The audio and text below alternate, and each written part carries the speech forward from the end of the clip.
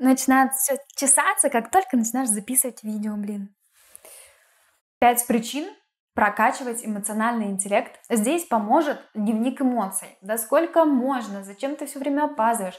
Я тоже буду опаздывать тогда. В целом тут тоже нет ничего сложного на самом деле. Главное тренироваться. Выбор шоколадки или выбор кандидата.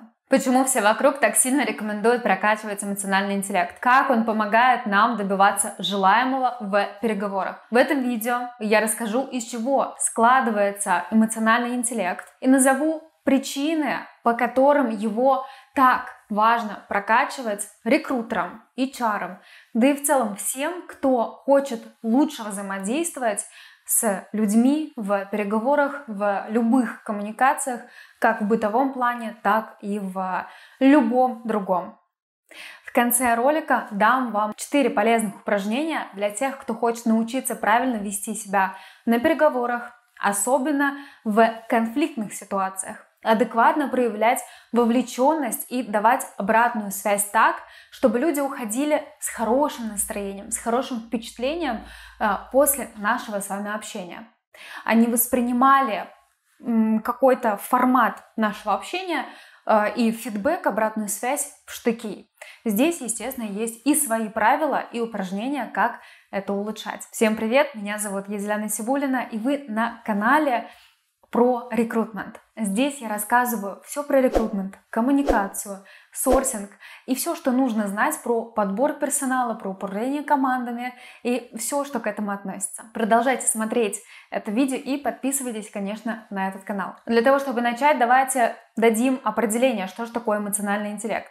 Эмоциональный интеллект это не просто модное слово, веяние, а ключевой элемент успешных коммуникаций. Эмоциональный интеллект это своего рода набор навыков, который помогает вам понимать эмоции других людей, понимать свои эмоции и управлять ими в ходе диалога. Причем эмоции не только свои, да, как я и сказала, но и собеседника. Чтобы представить эмоциональный интеллект э, вообще в целом, давайте представим пиццу, которая разрезана на 5 кусочков. В основном там 6 кусочков, но мы ее разделим на 5, так нам будет удобнее. Первый кусочек – это самопонимание. Это то, когда вы осознаете свои эмоции, понимаете их причины и то, как эти эмоции воздействуют на вас. Чем лучше связь с собственными эмоциями, тем легче вам будет управлять своим поведением и понимать причинно-следственные связи. Например, Рекрутеру, понимающему свои эмоции, будет легче сдержаться и не поддаться на токсичные выпады со стороны кандидата. А такие тоже случаются. Итак, мы с вами берем второй кусочек нашей пиццы под названием саморегуляция. Саморегуляция значит, что вы не просто понимаете, откуда растут ноги у ваших эмоций, но можете их контролировать, можете понимать первопричину, а, ну и, собственно, следствие, привычное поведение. Например, вы пытаетесь доказать руководителю, что ваша точка зрения более правильная, а руководитель будто бы не хочет слышать вас. Если у вас развита саморегуляция, то вы сможете завершить этот разговор в спокойных тонах, а не э, раскричаться, да, пытаясь доказать свою правоту. Потому что это ни к чему нас в диалоге в любом не приводит. Третий кусок – это мотивация. В целом слово говорит само за себя. Но чтобы понятнее в контексте эмоционального интеллекта, давайте тоже дадим определение. Мотивация — это ваше умение отказаться от сиюминутной победы ради долгосрочного результата. Очень часто важно быть не просто правым, да, а в долгосрочную перспективу смотреть. Например, в любом неудачном разговоре можно хлопнуть дверью, а можно вспомнить, для чего вы вообще все это затеяли. И совладать со своими эмоциями и продолжить диалог. Это, естественно, выиграл-выиграл. Четвертый кусочек нашей пиццы – это эмпатия. Ваше умение поставить себя на место других, понять, что они чувствуют в момент разговора, является ключевым моментом. Рекрутер HR, любой человек, у которого развита эмпатия, гораздо проще находит общий язык с кандидатом, умеет поддерживать доверительные отношения и создавать положительный опыт для потенциальных сотрудников, кандидатов и растить тем самым бренд работодателя. Такому рекрутеру легче понять мотивацию кандидатов и приложить перспективы карьерного роста, которые отвечают их амбициям. И такой рекрутер создает как раз тот нетворк, который нужен для быстрого закрытия. Ну и, наконец, а, последний кусочек нашей пиццы – это навык выстраивать гармоничные отношения с людьми в долгую, в формате «выиграл-выиграл», чтобы эффективно взаимодействовать с коллегами, с сотрудниками, с кандидатами, ну и вообще с нашими окружающими, с друзьями, с э, родителями, с близкой половинкой, это все является важной составляющей эмоционального интеллекта. Пять причин прокачивать эмоциональный интеллект рекрутеру, HR и любому человеку. Причины являются более глубокими, чем просто разрезать нашу пиццу. Зачем же нам с вами прокачивать эмоциональный интеллект? Ну, во-первых, как я уже говорила раньше, это лучшее понимание э, людей, то есть кандидатов, заказчиков, их потребностей, ценностей, мотивации. Как это проявляется в жизни? Например, вы представляете кандидата заказчику и уже по его реакции или поведению можете понять, устраивает его кандидат или нет. И в чем причина? Почему это важно? Потому что от этого будет зависеть, как построится общение дальше. Возможно, придется подсветить дополнительные положительные стороны кандидата. Возможно, логичнее будет подвести разговор к завершению и так далее. Для этого важно растить свой эмоциональный интеллект. Вторая причина – это умение разруливать конфликтные ситуации. А в работе рекрутера, как мы уже сказали выше, и я уверена, что вы, зрители, тоже об этом знаете, это явление а, совсем нередкое и очень часто встречается. Ну, собственно, конфликт э, – это ведь не только, когда вы ставите в, встаете в определенную позу конфликтную и активно начинаете кричать друг на друга. Нет. Вы можете вполне себе мирно завести разговор в тупик и не найти компромисса. И не поняли, как вообще вы сюда пришли. Например, когда руководитель вновь и вновь отклоняет кандидата или сотрудникам задерживает зарплату, и они пишут вам кучу писем с вопросами «Как так вышло?», «Решите мой вопрос». Круто, если вы, как рекрутер, как HR, умеете найти такое решение проблемы, при котором все стороны остаются довольными и а, никто не виноват и никто не в вине остается. Третья причина а, вы хорошо вливаетесь в командную работу, что для рекрутера или HR тоже очень важно, так как, по сути, это связующее звенья между кандидатом и э, их будущими руководителями и коллегами, сотрудниками и другими, возможно, отделами внутри компании, например, с бухгалтерией, юридическим отделом, финансовым отделом и так далее. Да и вообще в любой непонятной ситуации, как правило, идут к HR. И это еще одна причина, почему важно развивать эмоциональный интеллект. Четвертая причина – коммуникация, на самом деле, это не только, когда мы общаемся с э, заказчиком, с кандидатом по телефону или на очном интервью, это еще и работа с вакансиями, с письмами и даже где-то HR-брендом, а, брендом работодателя. И как вы реагируете на отказы кандидатов? Способны ли вы отвечать им адекватно? И даже так, чтобы поддержать отношения на будущее. Потому что любой человек может оказаться в любом положении ваш ответ не в том числе и часть э, HR-бренда. Вряд ли есть компании, которые хотят ассоциироваться с каким-то э, хамским и извительными ответами. Поэтому смотрите более широко, так скажем. Пятая причина, э, тоже в сторону HR-бренда, вы лицо компании, ваше поведение на интервью, ответы в письмах, манера общения по телефону, все это формирует HR-бренд и первое представление вообще о компании. Представьте, если 10 человек где-то в соцсетях напишут, что рекрутеры в такой-то компании совершенно не умеют общаться с людьми. Что сделает одиннадцатый? Он прочитает и просто не придет э, к вам на собеседование, не откликнется на вашу вакансию и не продолжит с вами диалог. Поэтому держите несколько советов, как прокачивать эмоциональный интеллект. Развивайте самопонимание. Это тот самый кусок пиццы. Здесь поможет дневник эмоций. Это очень важный фактор развития своего эмоционального интеллекта. А, потому что только с помощью записывания все, что вы чувствуете в каких-то напряженных ситуациях, и после них вы вообще сами начинаете понимать, какие чувства у вас возникают. Вы начинаете их валидировать тем самым. И даже если таких ситуаций не было, все равно фиксируйте ощущения несколько раз в день. Самое удобное это утро, обед и вечером перед сном, либо в течение рабочего дня. Как это делать? Описывайте эмоции и события, которые их вызвали. Как вы отреагировали на них в тот момент. Постарайтесь записать как можно больше деталей. И главное, писать фактами, а не давать эмоциональную оценку. Здесь у меня прям есть отдельное упражнение. Если хотите, тоже напишите, пожалуйста, в комментариях, насколько для вас эта тема актуальна. На следующий день вы можете открыть этот дневник эмоций и перечитать то, что записали вчера. Будет здорово, если вы будете подмечать какие-то повторяющиеся сюжеты, паттерны поведения, то есть однотипные ситуации, которые вызывали одинаковые эмоции.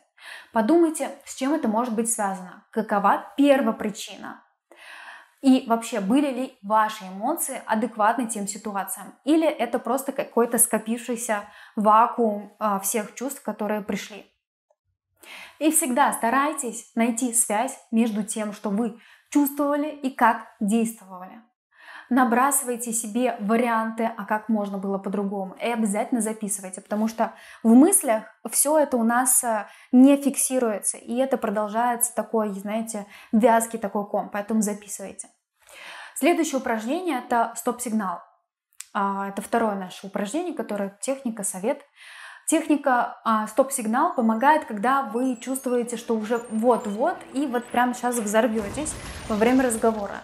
Чтобы этого у вас не произошло, попробуйте поступать следующим образом. Вам нужно остановиться, как только ситуация накалилась до такой степени, что хочется закричать на собеседника. Сделайте глубокий вдох. И если можете, лучше вообще выйти из помещения или прекратить созвон хотя бы на пару минут. Следующий момент. После того, как накал эмоций подупал, попробуйте ответить себе, что вы сейчас чувствуете, прямо сейчас. И почему там импульсивно э, вы прореагировали на саму ситуацию. И сразу же подумайте, а как еще можно действовать в таком случае?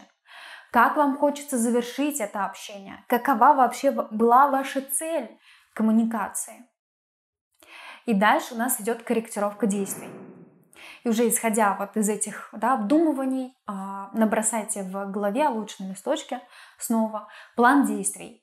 Это не значит, что вы тут же должны вернуться к общению и все проговорить. Вы можете взять определенную паузу, попросить перенести встречу и за это время спокойно понять, как действовать дальше. И, наконец, когда все устаканится, у вас в чувствах, поразмышляйте над ситуацией постфактум. Что вы из нее узнали? Как это может помочь вам в будущем? Это нужно для того, чтобы правильные стратегии да, под, закрепились у вас в голове на будущее случаи и не повторялись какие-то паттерны. Следующее упражнение – это активное слушание, которое обычно мы как рекрутеры используем очень часто, но я слышу здесь тоже очень много ошибок. Активное слушание поможет научиться лучше понимать собеседника и вникать в то, что он конкретно вот прямо сейчас говорит. А это как раз прокачивание вашей эмпатии, то есть эмоционального интеллекта. На самом деле выполнять это упражнение довольно легко, так скажем. Главное поймать фокус на собеседника. То есть, когда кто-то с вами говорит, вы убираете все, что может вас отвлекать. Чаще всего это наши любимые телефоны, уведомления и так далее. У нас есть привычка обычно да, отвечать на сообщения, даже если перед нами сидит человек и что-то рассказывает. Прямо сейчас у вас есть самый главный человек в вашей жизни. Это ваш собеседник. И как только вы отводите глаза от собеседника, обычно теряете фокус, нить повествования, и из-за этого потом не можете задать релевантных вопросов на собеседовании, показав тем самым, что разговор был вообще-то э, где-то может быть важен, где-то не важен. Итак, мы с вами убрали все лишнее, затем установили зрительный контакт. Мы с вами смотрим на собеседника, э, киваем, да, у нас э, происходят какие-то жесты, поддерживаем, слегка улыбаемся где-то, где это необходимо. То есть ваша мимика должна тоже отражать то, что вы слушаете человека, а не просто сидите в своих мыслях. И, конечно же, не перебивайте. Это вообще золотое правило переговоров. Всегда давайте собеседнику заканчивать мысль до конца. Думаю, вы сами не бываете в восторге, когда кто-то говорит с вами в параллели. Либо заранее согласуйте вопрос, могу ли я вас перебить, э, если э, мне покажется сейчас важным перейти в другую сторону. И никогда не пытайтесь составить сразу какое-то мнение о человеке. Наверняка у вас было такое, что э, человек начинает отвечать на ваши вопросы, вы сразу думаете, вот с этим все понятно.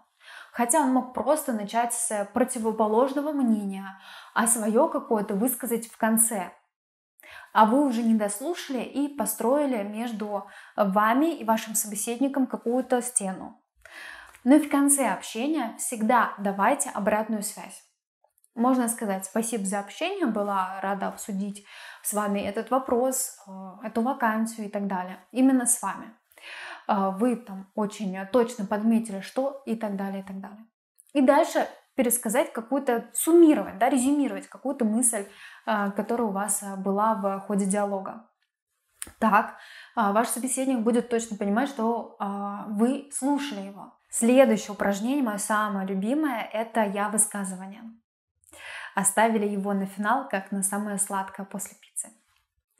Очень полезно я высказывание, это упражнение для тех, кто часто критикует других, хочет научиться давать обратную связь, Э, так, чтобы люди ее воспринимали. Не просто воспринимали как есть, да, но чтобы не воспринимали ее в штыки. В целом тут тоже нет ничего сложного на самом деле. Главное тренироваться и следить за мыслями во время общения. Например, заказчик в очередной раз сильно опоздал на встречу. И вам, конечно, хочется сказать, да сколько можно, зачем ты все время опаздываешь? Я тоже буду опаздывать тогда.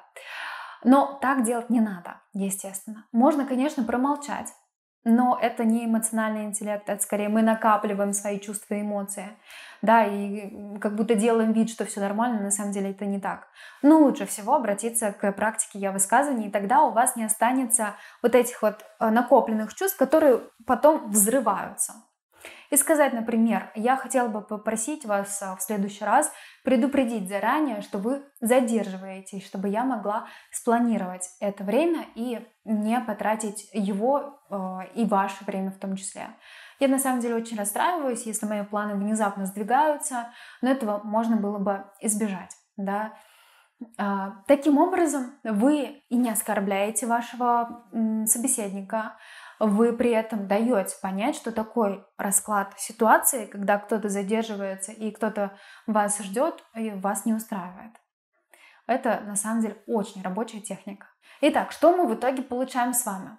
Эмоциональный интеллект – это основа нормального взаимодействия с людьми. От того, насколько хорошо вы понимаете свои и чужие эмоции, насколько хорошо вы ими владеете и умеете не поддаваться им в стрессовых ситуациях, во многом зависит успех любых переговоров. Будь то выбор шоколадки э, с вашей семьей или выбор кандидата. Самопонимание, саморегуляция, эмпатия – все это обязательно нужно в себе развивать, прокачивать. Начните вот с этих упражнений, которые я вам дала в этом ролике, или переходите на наш трехдневный марафон, где мы углубимся с э, вопросы коммуникации, взаимодействия с людьми и на практике потренируемся выходить из сложных ситуаций. Марафон у нас пройдет 4, 5, 6 марта. Зарегистрироваться можно по ссылке, которую видите внизу в описании к этому видео. А, переходите обязательно. После регистрации вы попадете в телеграм-канал, где получите дальнейшие инструкции к действиям. Жду всех желающих, которые хотят наконец-то а, углубляться в коммуникацию с кандидатом, с заказчиком, так, чтобы ваша коммуникация была в формате «выиграл-выиграл». И если вы смотрите это видео уже после нашего мероприятия, обязательно оставляйте заявку, пишите нам в Telegram Техрекрутер, и мы вас ориентируем по нашим дополнительным активностям и как вы можете к нам присоединиться и прокачать свой эмоциональный интеллект, э, коммуникацию и улучшить переговоры.